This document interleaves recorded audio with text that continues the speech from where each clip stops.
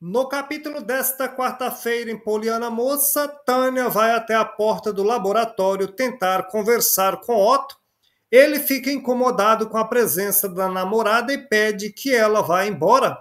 Renato aborda Ruth e pergunta quando os dois irão assumir o namoro.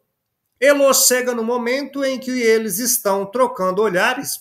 Durval reabre a padaria de forma presencial os alunos da Ruth Goulart voltam ao colégio e Eric e João já começam a se provocar. Eric expõe que João furou a quarentena para ver Poliana. Davi lamenta pela vacina que não chegou a tempo de salvar o professor Marcelo. Com saudade, Song dá um beijo em Luigi na escola.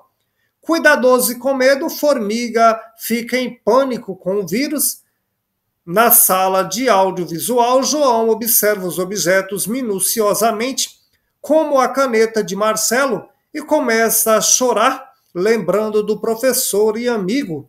Poliana se aproxima do garoto para apoiá-lo.